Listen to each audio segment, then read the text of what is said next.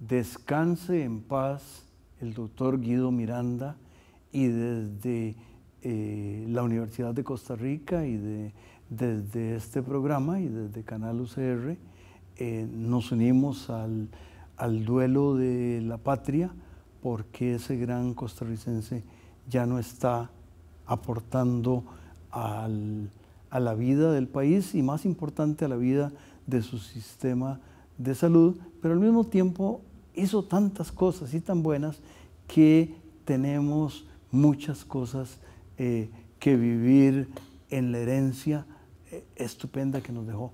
Para conversar de ese tema tengo el privilegio de tener con nosotros a un expresidente de la Junta Directiva del Banco Central, eh, a un... De la Caja Costarricense. De la Caja Costarricense de, Seguro Social, gracias don Rodolfo, a don Rodolfo Pisa, quien ha estado en el pasado con nosotros y eh, mm, si le parece, don, Rodolfo, si se refiere a, a don Guido y su contribución. Mire, desde la admiración, incluso desde la discrepancia en algunos temas puntuales, don Guido Miranda fue una figura excepcional, excepcional en todo el sentido de la palabra, brillante, comprometido, duro cuando había que ser duro, estricto, pero al mismo tiempo con una visión eh, integral de los sistemas de salud, no solo en Costa Rica, sino más allá de Costa Rica. Yo recuerdo antes de entrar al puesto de presidente ejecutivo, ahí por el año 98, yo eh, pedí una cita con todos los que habían sido expresidentes de la Caja Costarricense del Seguro Social también con los exministros de salud. Y de hecho mantuve un almuerzo, los cuatro años, un almuerzo mensual con los expresidentes ejecutivos y con los exministros de salud. Eh, porque me, me, ayudaban mucho a, a, cometer menos errores y a aprender de, de todos ellos. Y en esa conversación con don Guido, él recuerdo que me dijo al final, después de darme varios consejos, yo le fui a pedir consejos a, él, a don Juan Jaramillo, que me ayudó intensamente, sobre todo el primer año como asesor, otro gran, eh, otro gran pensador eh, eh, de la salud costarricense y otro gran pensador científico como don Guido, me dijo, vea Rodolfo, por encima de cualquier diferencia, yo amo la caja. Así es que en lo que usted necesite, en defensa de la seguridad social y de, su supervivencia, me tendrá siempre, me tendrá siempre a su lado. Y yo recuerdo con mucho cariño esa expresión, porque a lo largo del tiempo también tomé muchos consejos de él. Eh, una historia importante, una parte muy importante de la vida de la caja discurrió por su pensamiento y por su acción. Eh, incluso el completar, el proceso de completar la universalización del seguro de salud, por lo menos, eh, digamos, de los servicios de segundo nivel a, tercer nivel, clínicas y hospitales, tuvo una participación decisiva porque eso se completó alrededor del año 85, cuando pasa ya el último hospital de la Junta de Protección Social, que era el de San Ramón, pasa a la Caja Costarricense del Segural. Es un proceso muy difícil. Después eh, tocó, digamos, el proceso de universalización de los servicios de salud cuando se crearon los EBAIS, digamos, cuando ya la atención primaria de primer nivel también pasó a, a la caja, eso pasa ya en los años 90 eh, y ahí fue ya muy decisivo Álvaro Salas y, quienes habla, porque nos tocó esa, etapa, esa etapa de completar ese proceso. Eh, pero en innovación, Defender la institución y la supervivencia de la institución en la crisis económica de inicios de los 80 fue un acto excepcional en la que tuvo una participación muy, muy eh, decidida y, principal el doctor Guido Miranda. A mí me parece que eh, nosotros no podemos dejar nunca de, de agradecerle y de admirarle lo que él hizo para garantizar la supervivencia en medio de una crisis, sostener los servicios de salud, en la limitación de la compra de medicamentos, de suministros, eh, frente a reclamos sindicales naturales por la crisis económica, sostenernos, eh, incluso eh, mantener la batalla, por ejemplo, por seguir disminuyendo la mortalidad infantil, mejorando la esperanza de vida de los costarricenses hay eh, eh, en esa actividad de defensa eh, práctica de la institución una obra, una obra excepcional. Yo soy más descentralizante y tal vez era más centralizante, pero de cualquier manera, mm, yo siempre lo dije, no se puede descentralizar si antes no se tiene un sistema integrado de salud. La descentralización es posible una vez que se pasó por una etapa de centralización. Entonces ya uno dice, hombre, algunas partes deberían ser eh, más administradas eh, localmente. Eh, pero yo creo que, la obra, el pensamiento, la obra, el compromiso del doctor Guido Miranda es, es excepcional. La no, digamos, atreverse, por ejemplo, a la apertura de servicios de salud, por ejemplo, en Pavas y Tibás a finales de los 80, cuando eso era casi con las cooperativas, eso era como, como un tema tabú. Eh, igual que el, proceso de, repito, de, universalización, de completar la universalización del Seguro de Salud, tanto cuando fue subgerente médico como, cuando fue presidente ejecutivo. Claro que hubo otros actores fundamentales desde el gobierno de la República y por supuesto el presidente, los ministros de salud. Pero sin duda él era una figura clave y central en todo ese proceso. Pues eh, eh, un, último minuto y la, última cosa que quiere, quisiera... Yo, diría que a, a, Guido Miranda debemos una parte muy importante de lo que hoy es la Caja Costarricense del Seguro Social. Y a la Caja le debemos una parte muy importante del equilibrio social y del el empeño por sacar adelante este país eh, y, lograr demostrar que podemos hacer cosas por encima de, las diferencias y, que podemos eh, avanzar mucho más que otros países a pesar de nuestras limitaciones. Eh, muchas gracias, don Rodolfo, y continuaremos en el primer, siguiente segmento con otros dos invitados que, que nos van a acompañar a recordar a don Guido.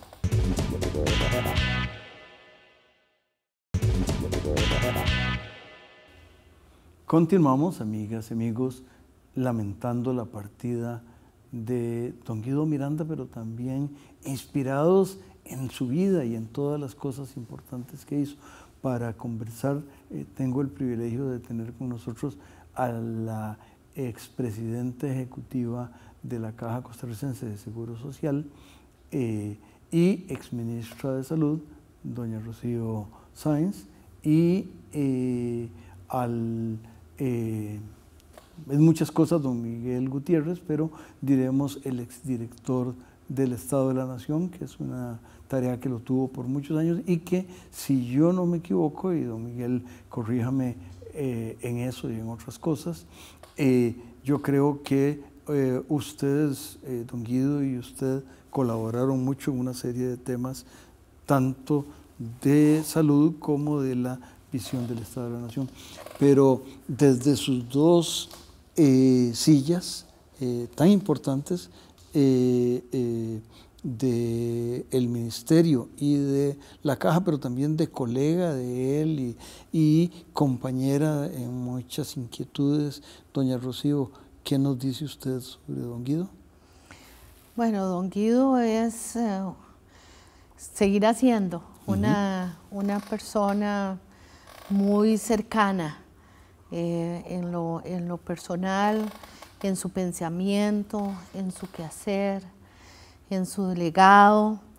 Es una persona que no solamente tuvo la oportunidad de diseñar la arquitectura de, la seguridad social, sino que eh, tuvo también la fuerza y el coraje de llevarlo a cabo. Yo diría que, que no solamente tuvo la idea, sino que él puso en ejecución muchas de las ideas y de alguna manera él recupera o es un símbolo de ese estado de bienestar. Entonces yo creo que es, no, pasará de, la historia de Costa Rica sin que haya un capítulo dedicado a don Guido Miranda. Desde la perspectiva de ministra, ex ministra y presidenta ejecutiva de la Caja, creo que uno de los legados más importantes que don Guido nos dejó eh, fue precisamente un sistema de salud, de protección social, en el cual está salud y pensiones, que se basa en un pensamiento solidario y en donde se comparte el financiamiento del sistema de salud, de prestación de servicios de salud. Esto lo digo porque América Latina siguió diversos rumbos y en esos rumbos que siguió América Latina, la prestación de los servicios de salud tuvo una época en la que la mayoría, e inclusive muchos países hasta la fecha, su financiamiento es vía impuestos directos a la población. En cambio aquí, al nosotros tener un, sistema de salud que busca desde sus orígenes, y don Guido fue muy claro en ese, que fuera integral y de cobertura universal, es con el financiamiento tripartito. Eso hace que el valor que tenemos los costarricenses sobre la salud es mucho mayor que en otros sitios porque hubo que conjugar los, los intereses de los sectores este, empresariales, empleadores, el del Estado y el de los trabajadores. En otros países el camino que más se ha seguido, en América Latina sobre todo, no, no hablo de Europa que tiene otra historia, pero en América Latina se siguió más un camino hacia impuestos o hacia la prestación de servicios de salud con terceros, es decir, donde el Estado no asumía una responsabilidad directa en la prestación de los servicios de salud, sino en la conducción de las políticas. Aquí yo diría que ahí hay un tema fundamental en ese diseño, en el cual en su momento lo, analicé con don Guido, precisamente para ver es, eso que nos hace diferentes. Nuestro sistema de salud es prácticamente el único en América Latina en el cual hay una separación clarita de las funciones del rol del Ministerio de Salud y del rol de la prestación de los servicios de salud. Eso quiere decir que esa separación, es decir, somos los únicos en el que tenemos esa clara separación.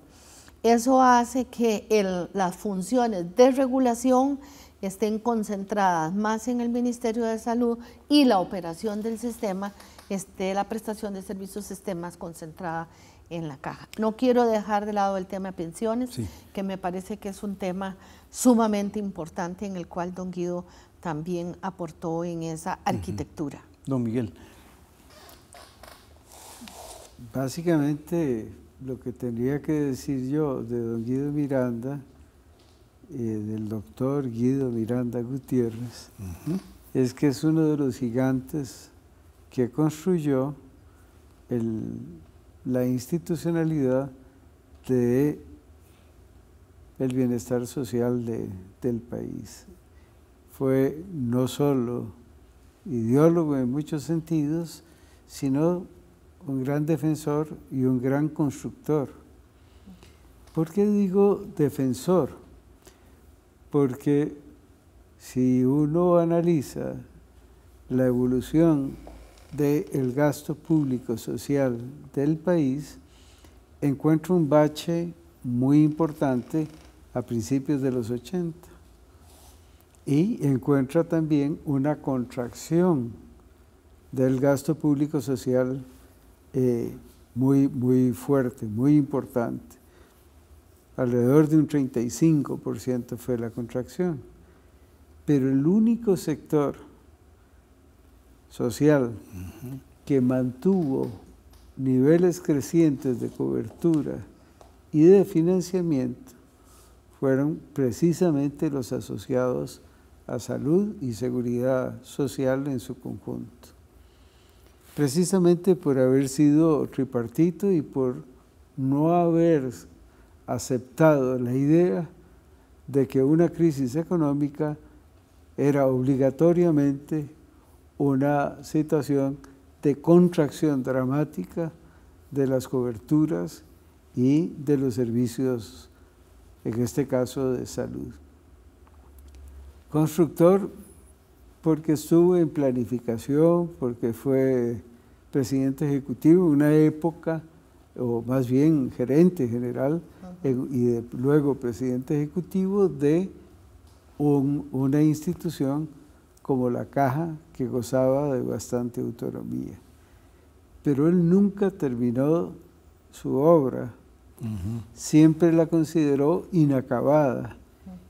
E insistió hasta la saciedad en señalar limitaciones, problemas. Desde aquella comisión, doña Rocío, en donde tuvimos el gusto de acompañarla a usted como ministra, y entre otros eh, estaba yo, pero el pilar central siempre fue don Guido Miranda. Y ahí, mañana, tarde y noche, él insistía en algo, salud primaria. La estructura del gasto en salud no está bien. Tendríamos que orientar mucho más el esfuerzo. Lo recordaremos, don Miguel y doña Rocío, eh, siempre, y, creo que este país está en una enorme deuda. Eh, continuaremos en el siguiente segmento con otros dos eh, mm, compañeros que van a recordar a don Guido en esta importante ausencia. Muchas gracias.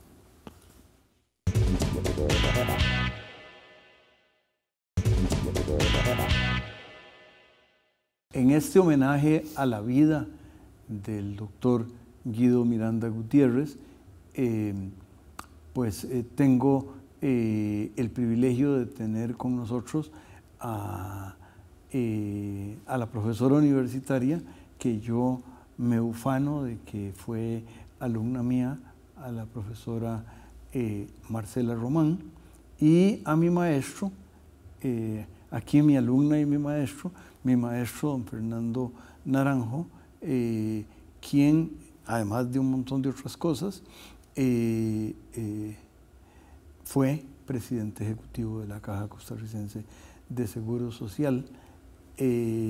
y si les parece, don Fernando, si usted quiere referirse a, don Guido como usted lo recuerda, y en mis manos he sostenido una foto de la Junta eh, directiva de la Caja Costarricense de Seguro Social, en la que están de manera importante don Fernando Naranjo y don Guido Miranda. Eh, algo más jóvenes ambos eh, en esa foto. Gracias Juan Rafael, un gran gusto de verdad acompañarlos en este homenaje tan merecido para el doctor Miranda. A mí me tocó, bueno, conocí a Guido tiempo atrás, pero me tocó trabajar con él eh, cuando llegué a la Caja del Seguro Social eh, a finales del año 1976. Trabajé con él todo el año 77 y buena parte del año 78.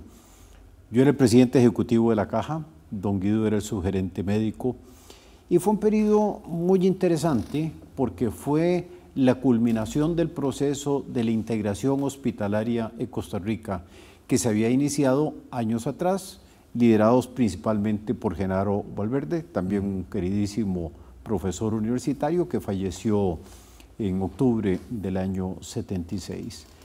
Me, me tocó conocer mucho a don Guido en momentos difíciles. Tuvimos que enfrentar dos huelgas en la Caja Costarricense de Eso se Seguro dice Social, fácil. eh, porque no fue fácil, ¿verdad? Ese proceso de integración hospitalaria. Eh, pero yo aprendí muchísimo de Guido. Primero, su gran visión de la seguridad social, su seguridad de lo que teníamos que hacer, una visión no de corto plazo, sino a dónde debería avanzar este país en 10, 15, 20 años. Y desde luego un socialdemócrata por excelencia, Guido tenía una gran preocupación porque le llegara la salud a las personas más necesitadas de Costa Rica. Y veía a ese seguro social y ese proceso de integración hospitalaria como el vehículo importante de elevar mucho los niveles de salud de los, la gran mayoría de los costarricenses.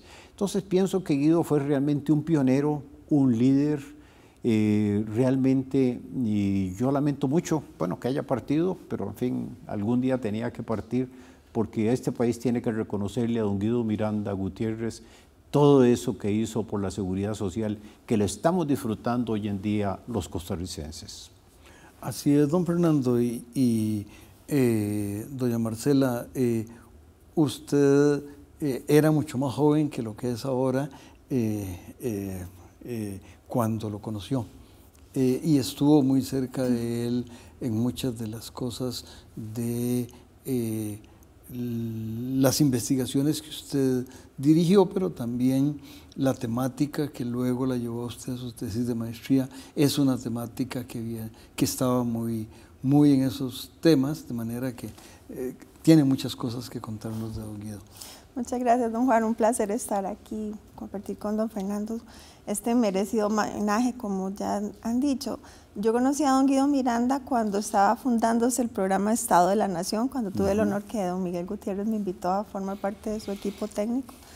Y don Guido hizo parte del Consejo Consultivo del Estado de la Nación desde el inicio y entonces pues fue mi maestro, no en las aulas, porque yo en economía es a ustedes a quienes estuve de maestros, pero don Guido fue un maestro en, en la práctica, ayudándonos a, a introducir dentro del concepto más abstracto general de qué es el desarrollo humano, qué era el rol que tenía la seguridad social y, y- y una, una política universal de seguridad social, que es una característica tan nuestra, tan distinta de un país pequeño y pobre, cuando en- desde tan temprano en la historia el país tomó la decisión de incorporar de esta manera los seguros de, de salud y de pensiones en, en el país, ya marcó una gran diferencia, pero tal vez los, de las cosas más lindas que tengo en la cabeza, además de todo lo que me enseñó sobre la historia de la seguridad social en Costa Rica y por qué es que había que conocer sobre esto para pensar en los retos al futuro, es que, tal vez para decirlo así, uno no puede pensar, entender el tipo de país que somos sin estudiar a profundidad el rol que ha tenido la seguridad social, ¿no? la caja en particular, pero en general la política de seguridad social. Y uno no puede entender a la caja y la política de seguridad social sin entender y conocer a don Guido Miranda. Bueno, creo que él a través de todo su legado, junto con otra gente extraordinaria, que algunos que están en esta foto que don Fernando nos trajo, eh, tienen una responsabilidad muy grande que el país debe de reconocerles en el tipo de, de- de institucionalidad democrática que se ha construido. Creo que esta mirada sobre una cobertura universal, esta gran preocupación porque el acceso fuera para todos, que se fue manifestando a lo largo de la historia de diversas maneras, fue muy importante. No sé, recuerdo algunas cosas de, de sus clases sobre la historia de la seguridad social, muy, muy críticas, como eh, cómo este país en distintos momentos logró sostener esa idea original de cuál era el rol que la seguridad social debía de tener a lo largo de momentos muy distintos en la historia, con contextos nacionales e internacionales muy críticos. Después de lo que don Fernando comentaba, la gran crisis de la deuda de los 80 y en ese momento había que consolidar la declaración de intenciones de la universalización de la seguridad social y el país en medio de grandes medidas de contención del gasto y un contexto macroeconómico de lo peor que nos ha tocado enfrentar. De todos modos, la, ¿verdad? El, el norte de, de este barco sobre la política de seguridad social estaba ahí presente, ¿verdad? permeando como en el ADN de la institucionalidad democrática. Entonces yo creo que en, todas estas cosas hay que reconocer la gran labor que él hizo, además de las tantas generaciones de personas que formó, como don Juan dijo, eh, gracias a, don Juan y a don Guido, yo decidí hacer mi especialización académica en, economía de la salud y, sin duda la discusión de, los temas de la judicialización de la salud que siguen estando eh, tan presentes en, en, esto, lo aprendí de la mano de don Guido. Don Fernando, nos queda un minuto para cerrar el programa? Bueno, yo nada más insistiría, Juan Rafael, que este país merece, que don Guido Miranda merece un gran reconocimiento de parte de todos los costarricenses. Para mí, que he pasado por muchas instituciones públicas, como usted sabe, eh, la institución más representativa de lo que es la Costa Rica de hoy es el Seguro Social y la más importante de las instituciones y la gran obra de Don Guido está ahí en la caja del Seguro Social. Pues eh, descanse en paz, pero eh, eh, esa paz que es la construcción de este país y, como lo decía muy bien don Fernando, y por eso es mi maestro, es la institución que más representa este país, pues lo vamos a tener muy presente y, hay muchas cosas importantes que pelear por este país eh, y habrá que, eh, recordarlo en, esa, en esas tareas. la, próxima semana, en los mismos tiempos y circunstancias, los invitamos a que eh, nos acompañen y quédense con Canal UCR, donde con los tributos, con los impuestos que ustedes pagan y con la capacidad de doña Rocío de endeudarse, seguimos Mm, haciendo la televisión que ustedes se merecen. Buena semana.